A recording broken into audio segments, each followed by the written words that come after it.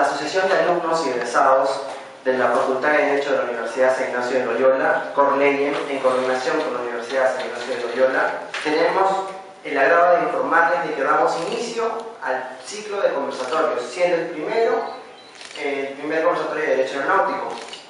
Para ello, invitamos al doctor Martín Santibáñez, quien nos va a dar unas palabras.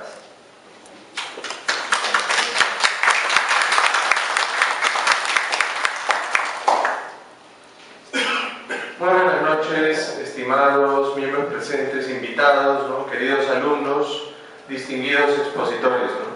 Eh, ante todo, bienvenidos a esta nuestra casa de estudios, a la Universidad San Ignacio de Loyola, les agradezco muchísimo su presencia. Y en segundo lugar, quiero primero felicitar a los alumnos de la Asociación Corleyen por la estupenda gestión que están realizando al intentar dinamizar académicamente los eventos que tenemos en la facultad siempre van a recibir el respaldo total de la facultad, siempre van a recibir el respaldo de la Junta de Gobierno y les felicitamos nuevamente ¿no? por esta excelente iniciativa de tener a dos juristas de primer nivel en su respectiva disciplina para exponer temas sustanciales del derecho.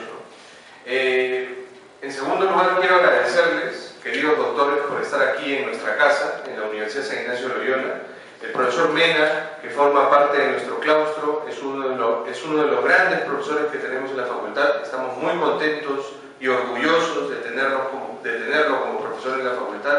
Y el doctor Falacín es una autoridad en el área eh, del derecho aeronáutico. Le agradecemos además, doctor, por todo lo que hemos estado conversando, ¿no? porque es fundamental regenerar la profesión de la abogacía en este país, porque es fundamental que los alumnos tengan no solo conocimientos teóricos, sino también aspiren a tener una práctica forense siempre dentro de los marcos de la ética.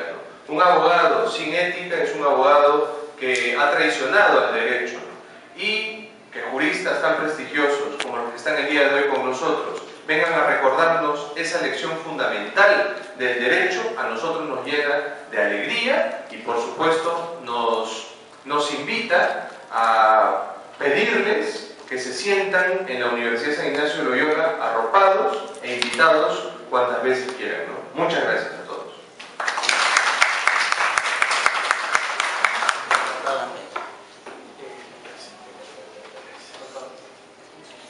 De manera especial invitamos al doctor Palacín para que unas palabras.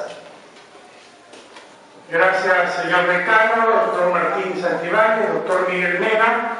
Como cuestión previa, quiero hacer una donación a la Facultad de Derecho y Relaciones Internacionales de la Universidad San Ignacio de Loyola de mi último libro, Línea Aérea de Valdez Bajo Costo, que se lo entrego al señor decano.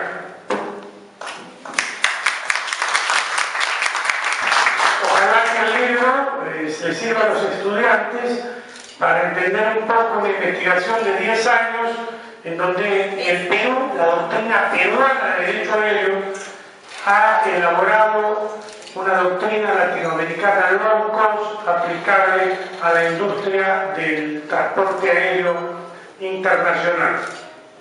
A continuación, eh, voy a hacer mi exposición en relación al tema la violación del espacio aéreo y la interceptación de aeronaves tratar de ingresar al ámbito jurídico y aeropolítico de la violación del espacio aéreo y la interceptación de aeronaves nos debe llevar primero a ubicarnos en el espectro internacional para entender los principios del derecho internacional público que informan al marco normativo. Y nos referimos al principio de inviolabilidad del territorio estatal que sustenta el de soberanía. La soberanía la podemos definir como el poder jurídico que tiene el Estado para hacer valer dentro del ámbito de sus competencias su fuerza, su coacción, sus leyes, su poder judicial, etcétera, etcétera. Es decir, la comunidad internacional cuando en los orígenes de la navegación aérea empezaron a debatir los instrumentos internacionales que iban a regir el futuro de la aviación en el mundo, debatieron lógicamente las dos tesis sobre quienes sostenían la libertad en el espacio aéreo y quienes consideraban que la aeronave era un instrumento peligroso de penetración o agresión en perjuicio de la seguridad y de la defensa nacional de los estados y por ende no podíamos consagrar un régimen de libertad y teníamos que sumergirnos en el principio de la soberanía que triunfó en el convenio de París de 1919 en el convenio sobre aviación civil internacional o convenio de Chicago, que es la carta magna de la aviación civil internacional vigente de 1944 y que crea la organización de la aviación civil internacional, que es el organismo de Naciones Unidas para la Aviación Civil, que el Perú tiene el privilegio de tener una de las siete sedes del mundo. ¿Y por qué quiero aterrizar en este concepto? Porque en el convenio de Chicago tenemos en el artículo 44 la trilogía que informa la prestación de los servicios de transporte aéreo en el mundo, que es el principio de economicidad, de seguridad.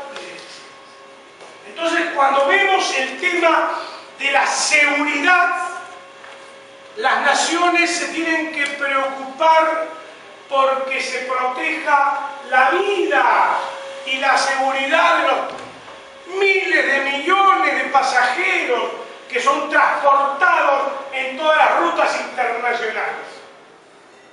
Claro, si a nivel internacional tenemos vigente el principio de soberanía que está en nuestra constitución política, en la, ley de aeronáutica civil del Perú, al Estado se le otorgan ciertas facultades, inclusive coercitivas, para hacer valer su poder dentro del ámbito de sus competencias. Y aquí quiero detener es cuál es el ámbito de competencia de un Estado en el espacio aéreo. ¿Y qué es el espacio aéreo? ¿Hasta dónde llega el espacio aéreo? El presidente Fernando Belaúnde Terry, en 1983, cuando yo tenía apenas 32 años, me nombró presidente de la Comisión de Juristas expertos en derecho aéreo por resolución suprema, que la comisión que integró el doctor Guillermo de la Chaga Miranda y el doctor Alfredo Villamester Martínez, y nos encargó el primer documento de política aérea que tuvo el Perú en su historia y que lo necesitamos para superar y solucionar el problema de la suspensión de las relaciones aéreas que teníamos con los Estados Unidos. Y en ese documento que está publicado en la revista peruana de Derecho Aeronáutico, año 1, número 1, 1985 y publicado por Aeronoticias, dijimos y fijamos la primer posición doctrinaria de la doctrina peruana de derecho aéreo en relación a que para nosotros en su momento sosteníamos que el límite, la frontera entre el espacio aéreo y el espacio ultraterrestre era el perigeo mínimo de las órbitas de los satélites vigentes al Tratado del 77. Muy criticable, pero fijamos la posición. Y a la doctrina argentina, española, dijeron, pero ¿cómo ustedes sostienen eso cuando sabemos que el avance tecnológico puede hacer que el perigeo cada vez sea más bajo? Pero esa fue la primera, digamos, la primera posición doctrinaria que tuvimos en el Perú. Y lo hicimos ¿por? Porque si bien el Estado ejerce soberanía sobre el espacio aéreo que cubre su territorio, los Estados, luego del Tratado del Espacio Ultraterrestre de 1967 de Naciones Unidas, en el espacio ultraterrestre consagraron el principio de la libertad. Es decir, ningún Estado puede reclamar soberanía en el espacio extraterrestre, pero sí podemos hacer valer el principio de soberanía en el ámbito aéreo donde ejercemos jurisdicción. Pues bien, Si bien las aeronaves son aparatos o mecanismos que tienen sustentación aerodinámica y que pueden transportar personas o cosas de un punto a otro de la Tierra, y son instrumentos de turismo y de comercio, también las aeronaves pueden ser militares de penetración o de agresión en perjuicio de los estados y también las aeronaves pueden ser usadas en lo que se refiere a los actos ilícitos contra el derecho internacional como es el narcotráfico. Yo les quiero decir que en, el 1987 en el Instituto Peruano de Derecho Aéreo con el Guillermo de Lochaga, recuerdo, y el Instituto de las Telecomunicaciones de Córdoba, y hoy salió una publicación dijimos, hicimos un convenio y propusimos un convenio internacional contra el narcotráfico, diciendo que el tráfico ilícito de drogas es un delito contra el derecho internacional. Lo pueden ver hoy en la noticia. Entonces, ¿qué pasa? Hoy el Estado ejerce soberanía en el espacio aéreo. Pero puede ser que aeronaves extranjeras, bolivianas, ingresen a nuestro territorio con o sin permiso de nuestras autoridades, pero violando las restricciones legales que legítimamente ha impuesto el Estado detentador de la soberanía, que es el Perú. En el primer supuesto, la Dirección de Aeronáutica Civil otorga un permiso de aeronave boliviana. En el segundo supuesto no se le otorga. Pero antes de entender la problemática, es importante situarnos en qué dicen los instrumentos internacionales. Tenemos aeronaves civiles dedicadas a las actividades aeronáuticas, transporte de personas, pasajeros, turistas, carga. Pero también tenemos aeronaves de Estado dedicadas a los servicios de aduana, correo o policía, o las militares. Pero también puede ser violado nuestro espacio aéreo por misiles o por aeronaves y en todos los casos, el marco normativo internacional del Convenio de Chicago establece en el artículo 5 un principio de libertad básica para los no regulares, pero para los regulares siempre hay el permiso previo.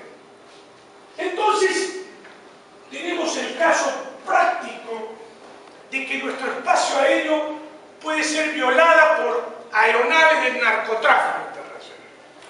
¿Qué hacemos? Pero antes de saber qué hacemos, tenemos que ver qué ha ocurrido en el mundo. Y me voy a centrar en dos casos fundamentales, o tres, hay uno acá en el Perú.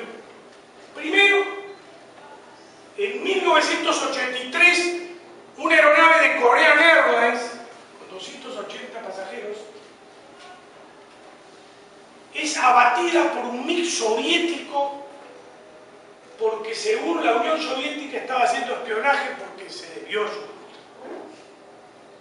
Y el abatimiento del CAL 007 conmocionó a la sociedad internacional y llevó a la base al 28 periodo de sesiones en 1983, en donde las posiciones encontradas lograron humo blanco a través del artículo 3 bis al convenio de Sociedad Civil Internacional, que bueno, tardará en entrar en vigencia, pero de ahí extraemos los principios jurídicos del derecho internacional que tienen que informar la normatividad y las reglamentaciones del Estado en interceptación.